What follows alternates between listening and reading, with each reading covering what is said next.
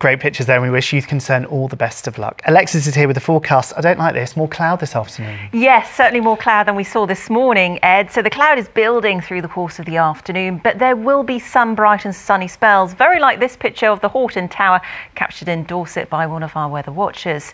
So through this afternoon, there will be a breeze from the, a fresh breeze from the southwest and some brightness, but large areas of cloud from time to time. And you can see that area of cloud moving in from the Atlantic. The best of the brightness down towards the southeastern part of the country. So this afternoon it will be breezy, the breeze fresh to moderate from the southwest, bringing in that cloud and also some sunny spells in between. So in the sunshine, temperatures will be up to around 21, maybe 22 degrees, which is around the seasonal average. Through the course of tonight, it's going to be quite a mild and muggy night. We'll see maybe the odd patch of rain here and there, but generally a dry night with a good deal of cloud.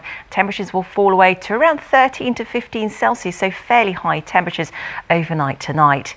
Through the day tomorrow, there may, may be a good deal of cloud at times, some bright and sunny spells, especially down towards the south and east, but also the chance we could have some heavy rain, particularly for western areas. And that rain could start nudging its way eastwards during the latter part of the afternoon and into tomorrow evening. Highs tomorrow of around 23 to 24 Celsius, maybe 25 in some spots, so slightly warmer than today. And warmer still as we head through the week. Friday, we're expecting the peak temperatures of 33 degrees, and over the weekend, still fairly warm for the time of year, with temperatures up to around 29, even 30 Celsius on Saturday. Ed. Lovely, Alexis. Thank you very much. Always cloudy on my day off, I see. Can you change that? Uh, that's it from us this lunchtime. We're back with you at 6.30 tonight here on BBC One. Do join us then if you can. In the meantime, have a lovely afternoon. 拜拜。